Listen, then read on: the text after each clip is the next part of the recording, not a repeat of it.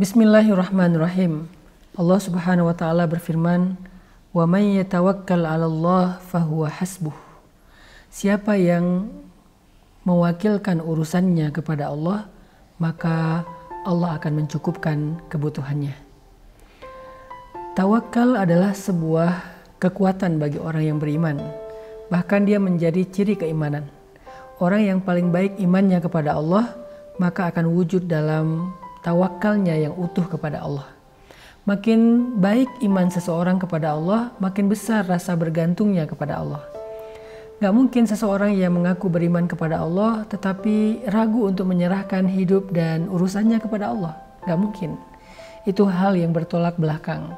Sehingga ketika kita menjadi seorang mukmin, harusnya kita menjadi orang yang paling kuat dalam berserah dan menggantungkan hidup serta urusan kita kepada Allah Subhanahu wa taala. Di antara ciri orang yang tawakalnya baik itu adalah muncul tuma'ninatul qalb, muncul ketenangan di dalam hatinya. Itu buah dari tawakal. Jadi kalau kita rasanya selama ini sering khawatir, sering galau, sering ngerasa terusik, sering bingung, maka salah satu kunci untuk menghilangkan semua perasaan yang tidak nyaman itu adalah belajar tawakal, belajar tawakul, belajar berserah dan bergantung kepada Allah Subhanahu wa taala. Ketika dia menyerahkan urusannya, masalahnya kepada Allah, dia percaya Allah sebaik-baiknya akan mengurus masalah itu. Dia yakin Allah sebaik-baiknya akan menyelesaikan urusan itu. Dia yakin Allah sebaik-baiknya akan memberikan jalan keluar dalam kebuntuan masalahnya. Keyakinan itulah yang membuat dia merasa tenang. Misalnya ketika kita melakukan safar, kita diajarkan doa yang dengan doa safar itu kita sedang belajar tawakal di perjalanan.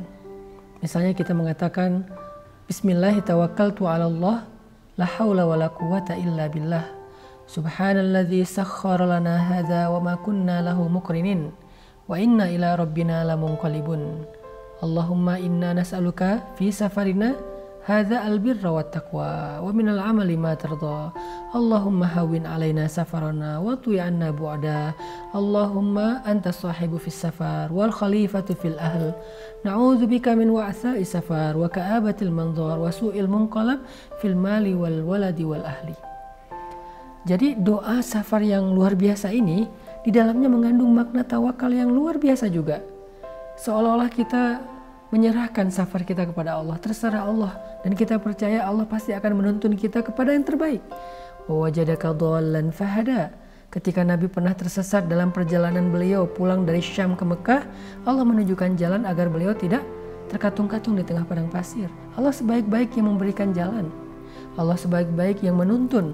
Sehingga orang yang membaca doa safar tadi seolah-olah menyerahkan safarnya kepada Allah lebih daripada dia menyerahkan safarnya kepada aplikasi map di dalam handphonenya.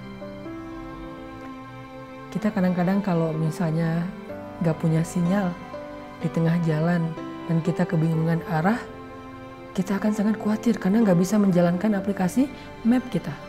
Di map itu muncul sinyal hilang, sinyal tidak ditemukan. Akhirnya kita nggak bisa mengupdate nih jalannya harusnya ke mana ke kanan apa ke kiri. Kita bingung kita khawatir.